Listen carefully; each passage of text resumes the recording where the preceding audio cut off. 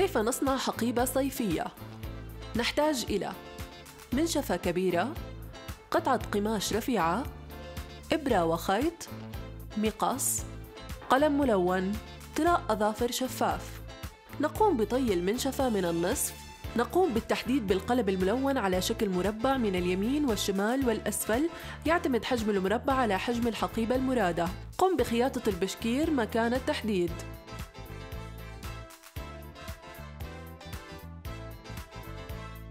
باستخدام المقص نقوم بقص فتحة صغيرة من كل من الجهة اليمنى واليسرى العليا.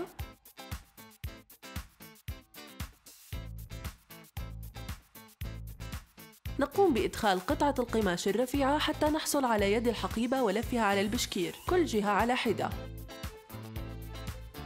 نقوم بوضع طلاء الأظافر الشفاف على الطرف العلوي من الحقيبة حتى نحصل على شكل نظيف ومرتب.